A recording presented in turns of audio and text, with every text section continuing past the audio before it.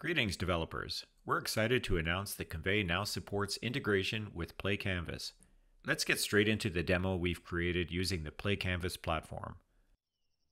Hey, can you guide me around this place? Welcome to Castle Evercrest. I'm Convai, your guide for today's journey through history. This right here is The Chronicles of Evercrest, a magical book chronicling the castle's history. Let me know if you have any questions. If not, let's move on to the next location.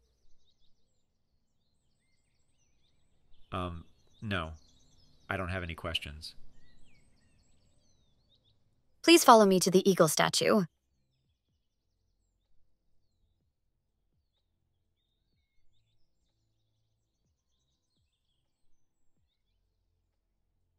This majestic eagle, carved from solid granite, is more than just a work of art. It's a symbol of our castle's strength and protection.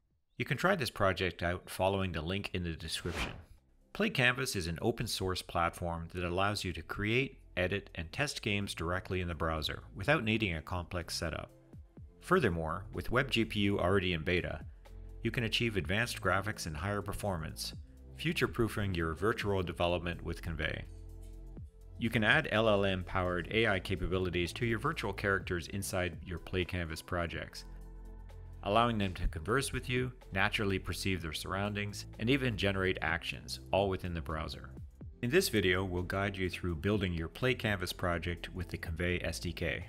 We'll show you how to add a chat UI and other Convai components, import a Ready Player Me avatar to your scene, and finish up with how to add a Reallusion ActorCore character to your project. Now we'll quickly see how we can integrate Convai into your PlayCanvas project. Before we begin, here's a quick overview of the PlayCanvas SDK for Convai.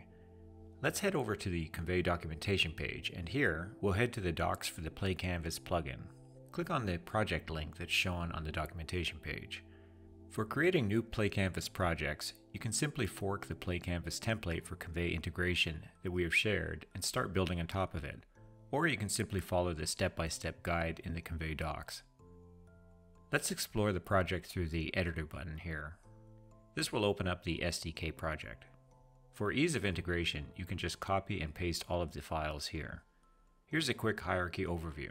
In the root directory, you have camera, light, plane, player object, which will have its own camera, and finally Convai NPC and Convai chat. Under Assets, we have ammo.js, which is the physics engine that is imported automatically when used. We also have a skybox and a Convai folder. Inside the Convai folder, there's a chat UI and Convai character with all the scripts that are needed. The character folder has a GLB file and animations. You can also head over to Settings, External Scripts, to see Convai's CDN, which basically ensures that a Convai client is readily available to the browser. Feel free to tweak the rendering in Skybox to your liking. Now let's start with a blank project.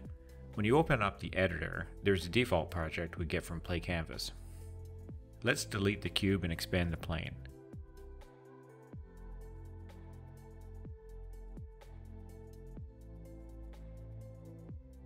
For your convenience, you can just copy and paste the plane we've shared, which already has the components for collision, render, and rigid body.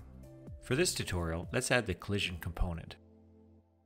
This will show you how to import the ammo.js file. Click on the component and the ammo.js file should get imported automatically. Let's also add the rigid body component. As you can see, this purple box is your collider and rigid body. We have tweaked the half extents to match the plane size. In addition, we'll make this static instead of dynamic, as it will not be moving. Now we can add a player, which will be us in the first person view. For that, we'll create a new entity and name it player. Now we'll need to add a rigid body and collision to the player as well and make it dynamic. Select the capsule option as it's the most relevant to the character body.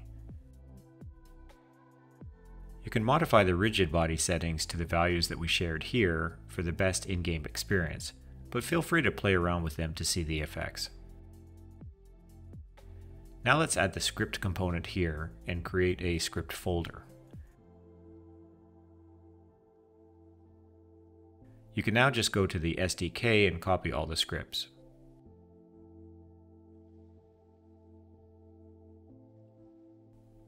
Select the player and add the first person movement script.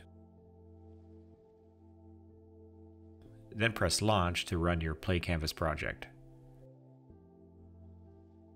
Check to see if the first person camera is working properly. To add the Convai character, go back to the reference project and copy the character files. Add the conv GLB file, which already has a few preset animations added, such as idle and talking. Click on the conv GLB file and select conv and just drag it into the scene. This will import the character.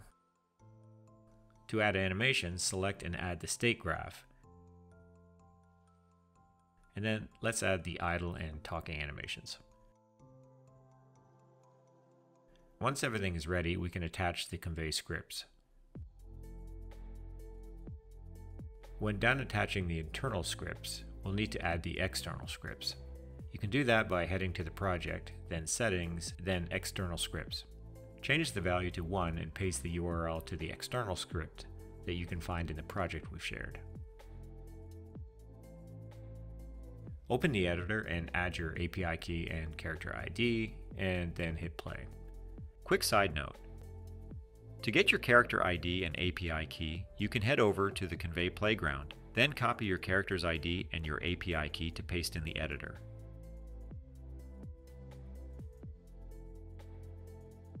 To add the chat UI, you can directly copy and paste it from the project we've shared. Create an entity for chat UI and select the CSS asset and HTML asset.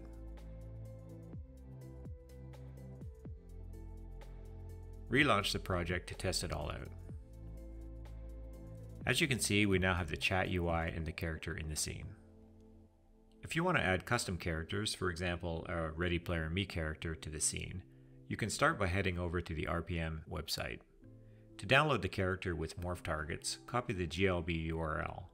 Then follow the instructions in the RPM documentation for getting the character with morph targets and the GLB file with visemes. Go to Blender and import the character you downloaded.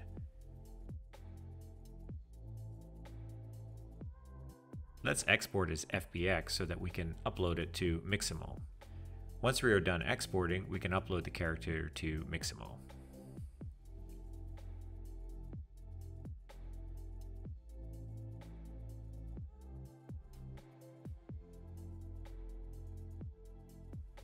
Inside Mixamo, we can choose the idle animation for our character. Download the character without skin and set the FPS to 60. We'll repeat this process for the talking animation. Once everything's ready, upload the GLB and animation files to your project.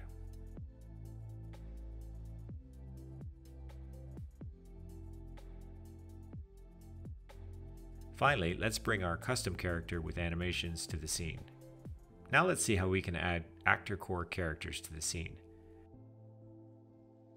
Select a character that you like from the ActorCore Reallusion website, then download the character files.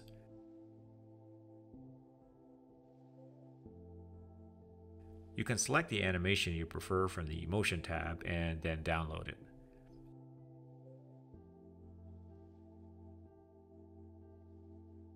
You'll need to convert the FBX files that were downloaded into a GLB format for ease of integration with PlayCanvas. To import Reallusion actor characters, you'll need the cc underscore blender underscore tools extension for Blender, which is available via the link in the description. Once it's downloaded, open a new project in Blender and go to Preferences and install the extension here. Check both the options here. Press N to activate the toolbar, and here you'll see the CC pipeline. Import the character from here, and you should be able to see all the materials. You can play around with the material values to see their effects.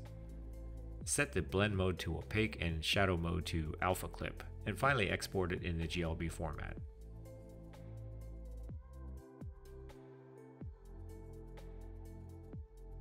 Now we can upload the character to our PlayCanvas project. It may take a few seconds to process the GLB file. Once it's done, you can drag and drop your characters into the scene and it should render. The animation files are already in FBX format, so you can upload them directly and they should just work. So this was all about importing ActorCore avatars to your Convai-powered Play Canvas projects. The tour guide demo you saw earlier was built in a similar manner using ActorCore avatar and animations. If you found this video helpful, please like, share, and subscribe for more PlayCanvas related content. As always, come by our Discord for any questions or write to us at support at convai.com for collabs and business related queries.